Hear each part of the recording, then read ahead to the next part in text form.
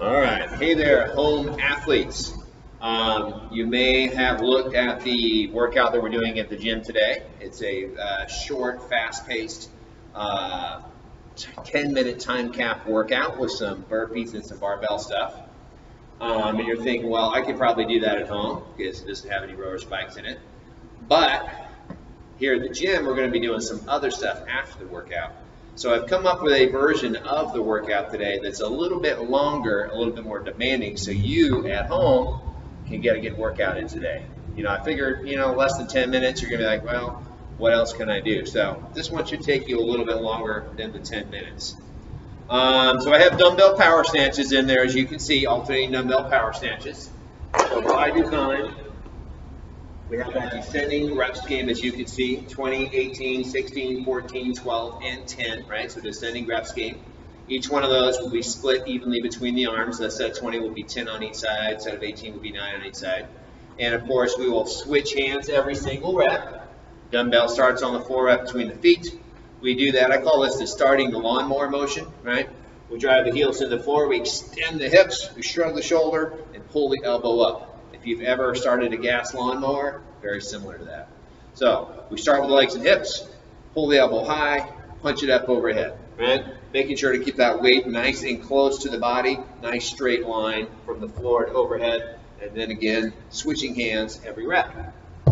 If you have a dumbbell, maybe you don't have a dumbbell. Maybe you have something like this. I know my friend Kirsten out there, shout out to Kirsten, has a long bar that weighs, I think she said about 19, 17 pounds, something like that. But you could easily do the overhead lunges, squats, and power snatches with that. You know, if you have kind of a heavy bar of some sort. But the exact same movement, right? Keeping the weight nice and close to the body, big jump, right up overhead, catch it in one big movement, right? So that would be a good uh, way to go there.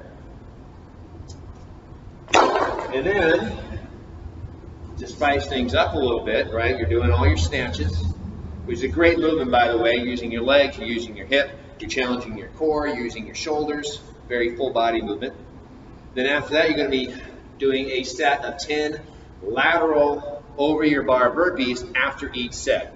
so every single set, right? The set of 20, 18, 16, 14, 12, and 10.